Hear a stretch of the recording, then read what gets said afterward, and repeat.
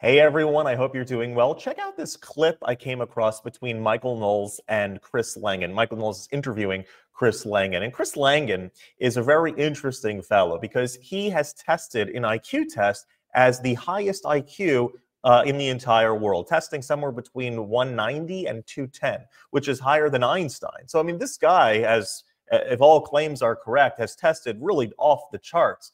And um, he's not what you would normally think of as a super smart guy just by looking at him. He's not some professor or or, or what have you. Uh, he looks really like an average guy. So the conversation is very interesting where it goes. But in this clip, they talk about the idea of God. Is there a God, and is there a way to sort of prove God from a, an intellectual standpoint? Take a look at what he says uh, in his in his viewpoint about God. From the perspective simultaneously, I suppose, both of depth and breadth here. Mm-hmm. If we're talking about a theory of everything, the first question we have to establish does God exist? Yes. Simple as yes. that. Well, it's the identity has a, the reality has an identity. Okay? The identity is that as which something exists. Okay? Matter of fact, when you say the word reality, you're naming an identity. It is, you're identifying something this. I'm, I'm smiling because your, your answer on this is so beautiful. It, it just reminds me of, of Moses at the burning bush. And Moses at the burning bush says, Who shall I tell the people that you are? Talking to God. And God says, Tell them, I am that I am. That's right. I am identity itself. I'm that's, being that's himself. Exactly. That's exactly right. That is, that is a that is a good uh, way of looking at it. Ehia asher ehia, meaning I will be that which will I will be. I am what I am uh, I am there, I am actual existence, I am reality. And that is sort of the way that he's describing the idea of God. Continue. That's what the CTMU says. It just comes up with the mathematical structure that you need to build a reality out of that. You see? So you come up with that identity and then you search it for its properties. You see, you, once you've built the preliminary framework, then you start deducing the properties of this identity and you find out that those properties match those of God as described in most of the world's major religions. Right? Just the theistic religions? So I'm thinking Judaism, Christianity, and Islam, or, or are you talking also of, say, Buddhism, Buddhism, Taoism, Hinduism, Vedism? Of course, Hinduism and Vedism, they have a God. Uh, Taoism, you know, they, they, uh, their central principle is the way, or the Tao, yep. okay? And uh, they don't see Tao as, as, uh, as God. Yep. And then in Buddhism, of course, you've got, you know, they, they are trying basically to achieve sunyata or emptiness, right? Which is most Buddhists, a lot of Buddhists don't even understand what that's supposed to mean. Hmm.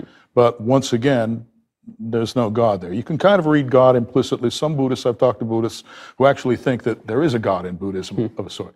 But it's, you know, that concept of, of pure consciousness is what it is. Okay? And if you ask them, well, whose consciousness are you talking about? They will point at themselves and say, mm. my consciousness.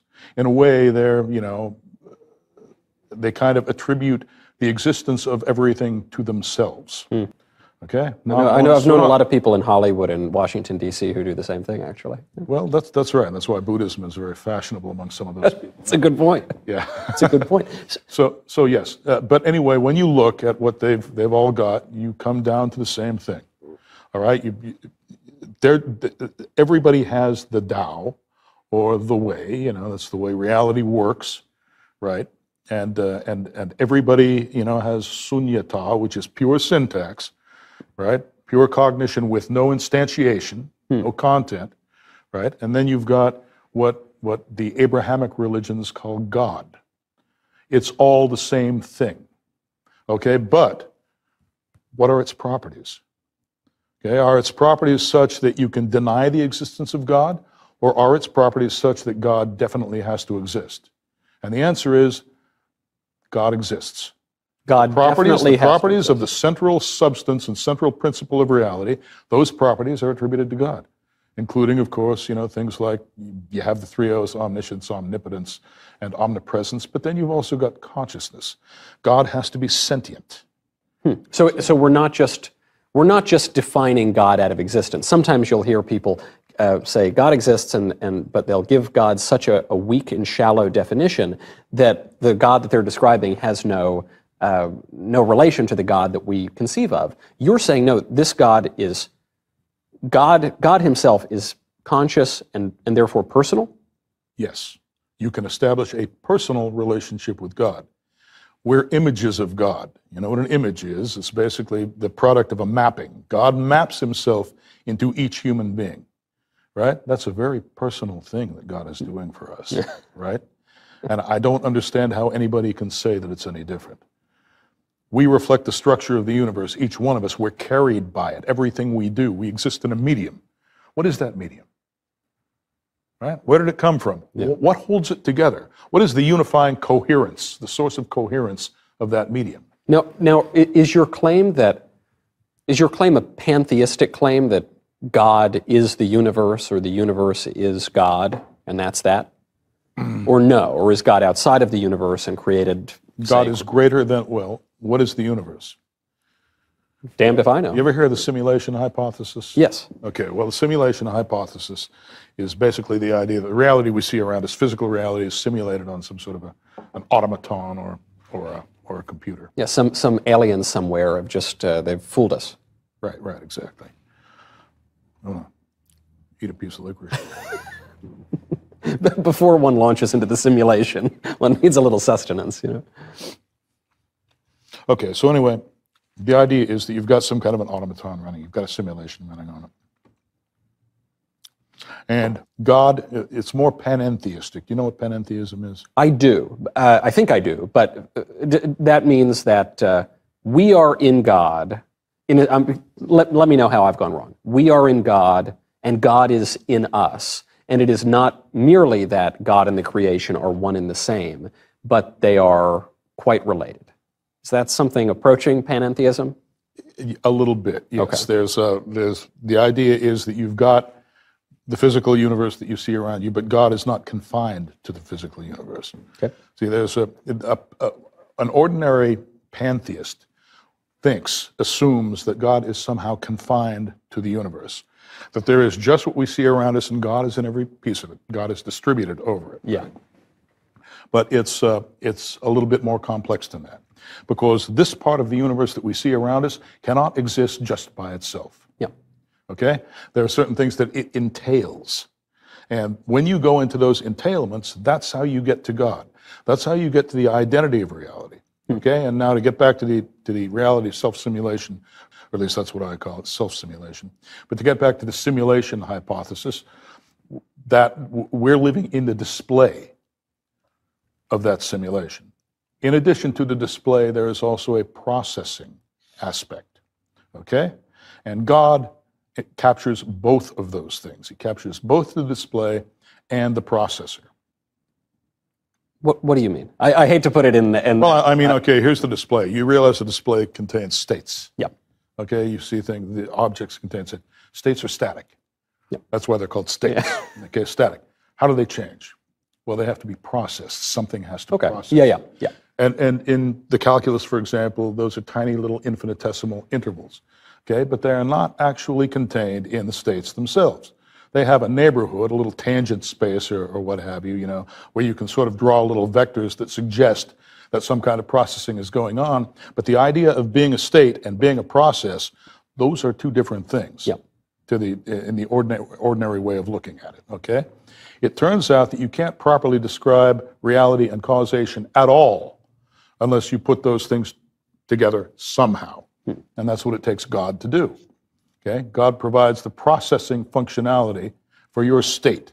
You have an internal state, an external state. You're a material human being. Yeah, yeah. Right. Like to explain how that is changing through time, you ne- and maintaining its coherence through time, even as it changes. That's what you need God for. Yeah, I, I certainly agree with that. And So there's there's a lot to unpack, a lot of deep concepts that are being related, some of which um, overlap into Hasidic or Kabbalistic thought. But one interesting idea that I think is important to bring out, especially when he was talking about certain similarities with the concept of God amongst world religions, is this idea that is brought in Jewish tradition that originally everyone and everything comes from a single source, meaning from from Adam, the very first human being described in the Torah. And the way that our tradition lays it out is that Adam had this personal relationship with God, Adam and Eve, and um, and they had children, they had children's children, and so forth. And by their grandchild's generation, they already started deviating. Their grandchildren already started deviating their concept of God.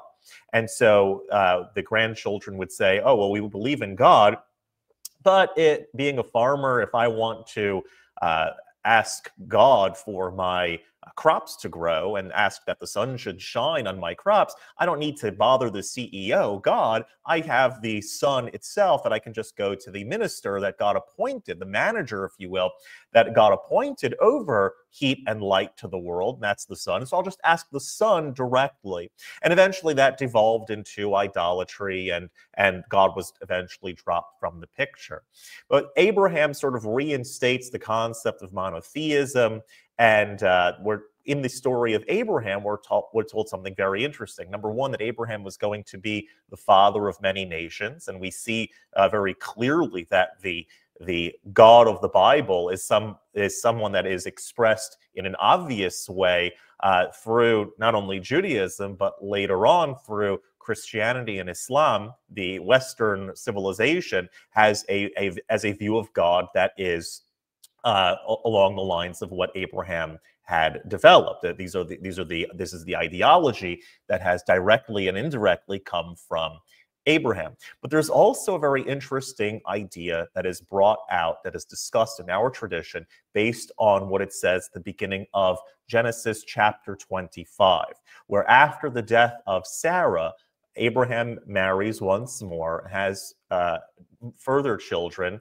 and it talks about him giving these children gifts of his and then sending them to the east, sending them to the lands that are in the east. And our tradition is full of different commentaries that say that these gifts that were given weren't physical gifts, but instead were spiritual gifts, uh, spiritual wisdom that was utilized in, in the East. And it's interesting that the timing in which this would have come come out 4,000 years ago, it bears a, bears a striking resemblance to when some of the Eastern philosophies were also started. Chinese history begins around the same time as as uh, Abraham would have been sending his children, for example.